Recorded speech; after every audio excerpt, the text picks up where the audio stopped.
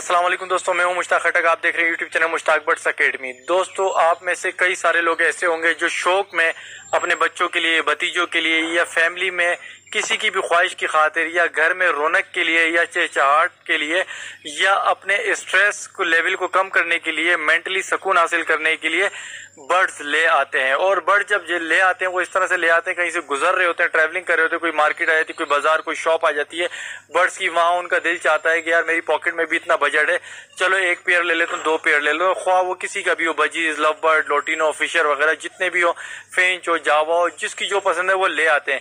लेकिन जब वो ले आते हैं, लाने के बाद कुछ अरसे रखते हैं तो उनके सामने कोई वीडियो आ जाती है, या किसी की ऐसी देख लेते हैं कि यार वो इससे रोज़गार भी कमा रहा है, या ऐसे ही ख्वाहिश पैदा हो जाती है कि यार जब ये रखे भाई, भी है पेयर भी है मेल है फीमेल है तो इनके बच्चे क्यों नहीं हो रहे, अंडे क्यों नहीं आ रहे? तो एक जुस्सुजू में लग जाता है बंदा, क्योंकि देखो जो बर्ड लवर होता है ना, उसे ये भी ख्वाहिश होती है कि यार इनके बच्चे होंगे तो बड़ा मज़ा आएगा, बड़े खूबसूरत होंगे। एक ख्वाहिश जन्म लेती है कि यार इनकी भी हम ब्रीड देखें सक्सेस देखें कि इनकी सक्सेस होती है नहीं, क्या हम इनसे ब्रीड ले सकते हैं नहीं, क्या ये एक से ज़्यादा हो जाएँगे या नहीं?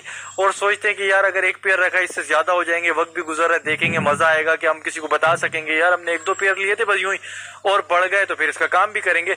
इस तरह की जब कंडीशन आती है तो बहुत सारे शौकीन क्या करते हैं मल्टीपल चीज़ें भी खरीद लेते हैं। मिसाल के तौर पे किसी ने एक बजीज का पेयर ले लिया, उसके बाद कुछ और ले लिए, बड़ा केज था, उनको साथ में रख लिया। जब वो ले लेते हैं, जब उनके जहन में ये सवाल आता है कि, चलो यार, अब इनसे ब्रीड कर लेते हैं।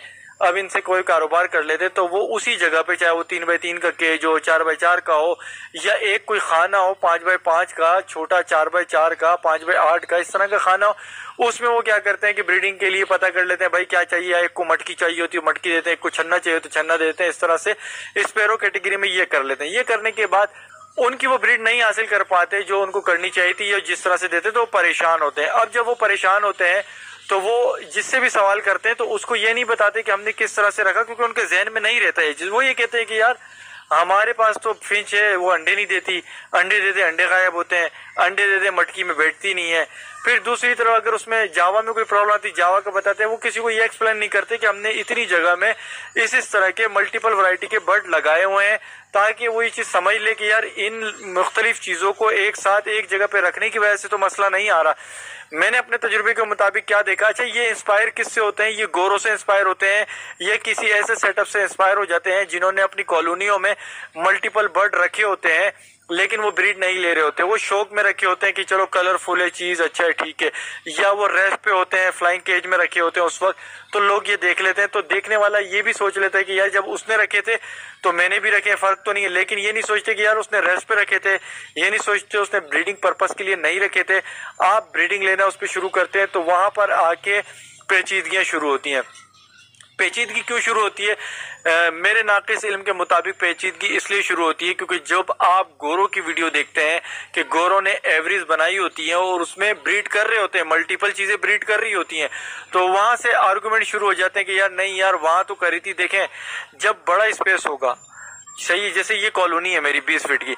अब मैंने इसमें पाँच छह जोड़े रख दिए। तो कोई जोड़ा वहाँ पर फिट हो जाएगा, कोई वहाँ हो जाएगा, उन्होंने देखा, आपने देखा, उन्होंने दरख्त भी लगाए होते हैं, सूखे दरख्त, टेनियों वाले दरख्त। तो मल्टीपल चॉइसेस हो जाती है मल्टीपल बर्ड के पास। और उन्हें एक लंबा, एक दौरानिया मिल जाता है, एक लंबा डिस्टेंस मिल जाता है, जिसपे वो लोग क्या करते हैं ब्रीड वगैरह कर रहे होते हैं। देखें बर्ड्स की साइकी क्या है? बर्ड जंगल में भी रहता है। जंगल में जावा भी रहती है फेंच भी रहती है, सब चीज़ें जंगल में रहती है। जंगल में फासले बहुत दूर दूर का होते हैं ना। तो अगर मैं बोलूँगा, यार, ये मल्टीपल वैरायटी एक जगह पे ब्रीड नहीं करती तो आप लोगों में से बहुत सारे मुझे सवाल करते हैं, यार, जंगल में तो ये रह रहे होते तो जंगल में रहते हैं। लेकिन जंगल में भी वो अपने नेस्ट के पास किसी को बर्दाश्त नहीं करते, जितना मैंने देखा। आप इस पर रिसर्च भी कर लेना। अभी मैं ये चीज़ क्यों बता रहा हूँ, अपने तजुर्बे के मुताबिक, क्योंकि काफ़ी सारे केसेस मैंने इस पर रिजोल्व करवाए थे, जिसकी रोशनी में मैं आपको ये चीज़ें बता रहा हूँ ताकि आप लोग इससे बच सकें। अब बात करते हैं कि ये वाली जो कॉलोनी है, बीस फीट की है मतलब लेफ़्ट से राइट में बीस फीट की है। इसमें मैं बजरी कॉकटेल इस तरह का ये वो डाल दूँ तो ये वो एक दूसरे से बहुत दूर दूर होंगे और अपना दिफा भी कर सकेंगे। यानी कि कोई अगर इनके पास जाएगा, ये उड़ के वहाँ जाएँगे, अगर उनकी खाने वाली चीज़ नहीं होगी। अगर खाने वाली चीज़ होगी तो ये कुदरत का कानून है और जंगल का कानून है कि जिसकी खुराक जिसने बनना है, वो उसको खाएगा। मैं डिस्टर्ब से रिलेटेड बात कर रहा हूँ कि नेस्टिंग पे जो डिस्टर्ब करते, धुतकारते हैं, उन बर्ड्स को अगर साथ रखा जाएगा तो वो इतने बड़े खाने में एक दूसरे को जब डिस्टर्ब करने की सोचेंगे तो दूसरा दिफा करेगा और दूर दूर होंगे, अपनी जगह चॉइस कर लेंगे कि यार मैंने इस ऊंचाई में देना है, इस साइड पे दूसरा सोचेगा मैंने उस साइड पे देना है। एक दूसरे से दूर होने पे इनको एक दूसरे से कोई खतरात नहीं होंगे और एक दूसरे को पंगे शंगे नहीं लेंगे डिस्टर्ब नहीं करेंगे। लेकिन अगर उन्हीं मल्टीपल वैरायटी के बर्ड्स को मैं एक ही खाने में रख दूँगा, जिसकी जगह कम होगी। एक दूसरे के सामने होंगे, एक दूसरे के करीब करीब होंगे तो एक दूसरे को अपना ज़ोर भी दिखाएँगे। क्योंकि जंगल का कानून और दुनिया का कानून ये भी है कि ताकतवर कमज़ोर को अपना रूप दिखाता है, अपनी ताकत दिखाता है, अपना दबदबा दिखाता है। तो इसी तरह बर्ड्स में जो जानदार बर्ड्स होता है, वैशी बर्ड्स होता है, एग्रेसिव बर्ड्स होता है, वो कमज़ोर बर्ड्स को दिखाता है, अपनी मोनोपोली दिखाता है कि मैं यहाँ का बादशाह हूँ, तू कहाँ से आया? तो छोटी जगह पे उनको ये चीज़ जो है डिस्टर्ब करती है कि यार ये मेरे मध्य मुकाबिल क्यों है, ये इस जगह पे क्यों है? या बड़ा वाला जो है, बड़ा जो पेरेंट ताकतवर जो होगा, जो बर्ड भी होगा, वो क्या करेगा? उसको अगर नेस्टिंग की ज़रूरत भी है तो वो छोटी वाली से नेस्टिंग निकालेगा, क्योंकि उसको ये डर नहीं होगा, ये मुझे मारेगा।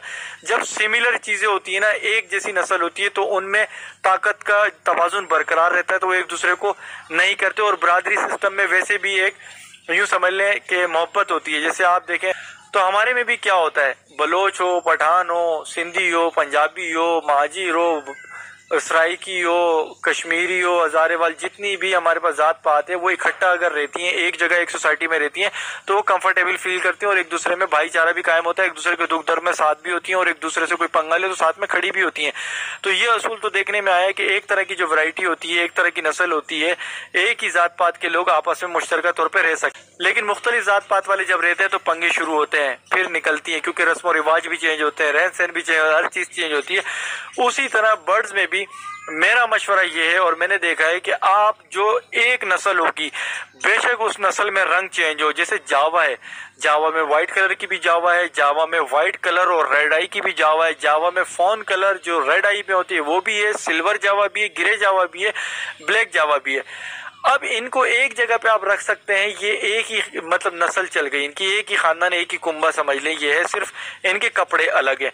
ये एक साथ रखी जा सकती हैं और ये एक साथ ब्रीड भी कर सकती हैं। वो अलग बात है कि वैल्यू स्प्लिट्स के निकलने पे पाइट के निकलने पे वैल्यू अप एंड डाउन हो सकती है, लेकिन ब्रीड के मामले में रह सकती हैं। इसी तरह बजीज में आप देखें, मुख्तलिफ़ कलर के होते हैं, रख सकते हैं। इसी तरह दूसरों में देखें तो वो रख सकते हैं। लेकिन जब आप गोरों की देखेंगे तो वहाँ पर आपको यही चीज़ दिखती है कि वो बड़ी जगह पे उन्होंने चार पेयर रखे होते हैं, पाँच पेयर रखे होते हैं रश नहीं बनाया होता तो हर पेयर अपना एक दूसरे से दूरी होता है और उनमें जंगल का माहौल होता है, दरख्त होते हैं तो वो खोपचे में घुस जाता है। लेकिन जो एक महदूद जगह होगी, वहाँ पर इनका आपस में तकरार होगी, ताकत का तोजुन बरकरार नहीं रहेगा तो वहाँ पर ये फड्डे होंगे। अब ये मैं आपको क्यों कह रहा हूँ, और मैं अपने तजुर्बे की रोशनी से इसलिए कह रहा हूँ कि ये मेरे तजुर्बे की रोशनी से है, क्योंकि मैं इंसान हूँ मेरे तजुर्बे में गलतियाँ भी हो सकती हैं, और मेरे तजुर्बे में ऐसी चीज़ें भी आ सकती हैं जो शायद आपके तजुर्बे में नहीं आई हो। तो अगर कोई मुझसे इख्तलाफ करता होगा तो उसका वैलिड है। इसीलिए मैं अपने तजुर्बे की बात कर रहा हूँ ताकि आप उसको रिसर्च कर सके। आप अपने तजुर्बे से इसमें जब डीपली जाएँगे तो आपको और चीज़ें मिलेंगी। लेकिन मैंने जो देखा, मेरे पास जो कंप्लेने आई, जो मुझसे पूछ रहे थे उसमें काफ़ी लोगों ने मुझसे पूछा कि यार ये इस इस तरह मसला हो रहा है, मेरी फिंचों की ब्रीड नहीं आ रही, अंडे होते हैं, बैठते नहीं है, ये हो रहा है, अंडे टूट रहे हैं मतलब सक्सेस हासिल नहीं हो रही। मैं उनके साथ सर खपाता था, बहुत सर खपाता था, लेकिन जब इन दी एंड सर खपाने के बाद भी रिज़ल्ट नहीं निकलता था तो वैसे ही मैं जनरली जब इतना तंग हो जाता था, उसके बार बार मैसेजेस से और परेशानी का सोल्यूशन नहीं मिल रहा, सब कुछ बता सही है। तो फिर कहीं ना कहीं मेरे जहन में ये आता था कि यार, अपने दर सर से जब जान छुड़ानी है तो एक दफ़ा देख लें कि यार मसला क्या है तो मैं उन्हें कहता था एक छोटा सा क्लिप बनाए, अपने इर्द गिर्द के माहौल का बनाए, कि जैसे ये मेरी कॉलोनी सेटअप है तो आप देख रहे हैं कैमरे से आपको दिख रही है ना, कॉलोनी कहाँ से शुरू है, कहाँ से खत्म। इर्द गिर्द का ये माहौल भी दिख रहा है। मैं उनको कहता था, ऐसे आए कैमरा लेके और अपनी कॉलोनी के अंदर जाके भी दिखाए। तो मैंने देखा जो दो तीन केस थे, बहुत लंबे चले थे मेरे साथ तो मैंने देखा उन्होंने डव भी रखी हुई थी, जावा भी रखी हुई थी, इस तरह से मुख्तलिफ़ वरायटियाँ भी रखी हुई थी, जबकि स्पैरो कैटेगरी में ही आ रही हैं कि फिंच भी रखी है, जावा भी रखी है। लेकिन मैंने कहा कि आप मेरे कहने के मुताबिक एक काम करें, इन सबको सेपरेट कर दें। उन्होंने सेपरेट किया, उसके अट्ठारह दिन, बीस दिन के बाद वहाँ से मुझे खुशखबरी आ गई कि हमने सेपरेट किया, हमारे तमाम बर्ड जो है अच्छी ब्रीड कर रहे हैं और अच्छे तरीके से चल रहे हैं। देखें, यहाँ बात आ जाती है शौक की, शौक में फिर सिर्फ़ फैंसी तरीके से रखने की, शौक में ब्रीड लेने की बिज़नेस में ब्रीड लेने की तो आपने अपनी चॉइसेस को सामने रखना है कि आप किस तरह से चलना चाह रहे हैं। अगर आप तो चलना चाह रहे हैं कि फैंसी तरीके से तो आप इस पेरो कैटेगरी को एक साथ रख लें पैरेट कैटेगरी को एक साथ रख लें स्टडी करने के बाद कि कौन से एक दूसरे की जानी दुश्मन है। जो जानी दुश्मन होंगे, वो नहीं रह पाएँगे। जो जानी दुश्मन नहीं होंगे, वो रह तो पाएँगे, लेकिन ब्रीड नहीं कर पाएँगे। फिर आपने फैसला करना है कि ब्रीड लेनी है ब्रीड लेनी है तो आपने हर कैटेगरी को अलग अलग कर लेना है। ये ब्रीड सक्सेसफुल ब्रीड का यही तरीका है। उनको, उन्हीं की बरादरी के साथ रखें, ठीक है, ताकि आपके नुकसान कम हो और आप जो टाइम स्पेंड करें खुराक स्पेंड करें आपको रिज़ल्ट भी मिले। कैटेगराई कर देंगे तो आपके लिए इस तरह भी आसान होगा कि ब्रीड के साथ साथ आपको पता चल जाएगा कि आपके रिज़ल्ट क्या आ रहे हैं, आपको पता चल जाएगा कि किस चीज़ के कितने पट्टे आ चुके हैं जो आप मार्केट में दे सकते हैं और आप अपनी अर्निंग कर सकते हैं। तो ये वीडियो इसलिए बनाई क्योंकि बहुत सारे लोग मुझे ये मैसेज करते हैं, उन्हें मैं तमाम चीज़ें बताया था तो वो आगे से मुझे ये कहते हैं कि सब सही है, सब कुछ ठीक है। तो मुझे लगता है कि उनकी खामियों में ये खामी भी होंगी, क्योंकि हर बर्ड लवर का यही शौक होता है कि मल्टीपल चीज़ें मेरे पास हो मल्टीपल वराइटियाँ हो कलर्स हो तो वो एक ही, ज़ाहिर केज वगैरह इतने हर एक के पास सेपरेट लगे नहीं होते, ना टाइम होता तो वो एक ही बड़ा सा बना के रख देते हैं। तो ब्रीड के टाइम पे उनके साथ ये मसले आते हैं। और फिर कुछ लोग जो ये पूछते हैं कि हमारी फिंचेस जो है, वो लंगड़ी लूली हो रही हैं। तो उसमें एक चीज़ ये भी होती है कि जो पेरेंट्स होते हैं, वो फिंचों को और अपने से कमज़ोर बर्ड को पंजे मंजे ये छोटी मोटी चीज़ें नाखून नाखून कुतर देते हैं, धुतकारते टाइम पे या जाली में। अगर जाली का फासला है, इधर आपने बजीज रखे हैं, या कोई भी और पैरेट रखा है, और दूसरे खाने पे आपने फिंचेस या जावा रखी है तो जब ये जाली होती है बीच में पार्टीशन की, इस पार्टीशन से जो है ना वो बाइट करते हैं पैरेट्स फिंच को, जावा को, या अपने मुखालफिन को नुकसान पहुंचाते हैं, और इसी चीज़ से आपको ये अंदाज़ा भी होगा कि ये चीज़ें साथ रहने वाली नहीं है। हर बर्ड किसी न किसी दूसरे बर्ड का जो है वो शिकार होता है, खुराक होती है। इस चीज़ को आपने देखना है स्टडी करना है कि कहीं हम ऐसी चीज़ें तो एक जगह पे नहीं रख रहे कि सास बहू को एक पिंजरे में तो नहीं रख रहे, जिसने एक दूसरे से लड़ते झगड़ते ही रहना है। इस चीज़ का आप लोगों ने ख्याल करना है। मैं वैसे जनरली मज़ाक कर रहा हूँ, वैसे सास बहू के रिश्ते ऐसे भी होते हैं जो माँ और बेटी वाले होते हैं, लेकिन चूँकि वो ड्रामाटाइज और चीज़ों में मशहूर है और आपको मिसाल देने के लिए कि हर वक्त की चिक चिक से बचें तो इस तरह की चीज़ें नहीं रखें। वीडियो पसंद आई, वीडियो को लाइक कर दें। चैनल पर नए तो चैनल को सब्सक्राइब करें। मिलेंगे नए टॉपिक पर नई वीडियो के साथ। अपना ख्याल रखिएगा। हाफिज़।